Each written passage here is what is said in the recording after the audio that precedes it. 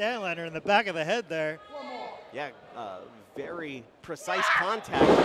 Going- Statlander did very well there. Going for another like modified Hurricane there, but Statlander was a little too smart this time. She's going up for the top rope now.